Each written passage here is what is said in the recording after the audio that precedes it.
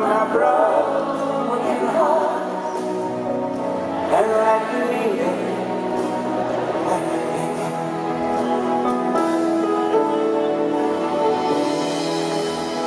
I can still feel the breeze that through the trees and the sweet memories of days gone by.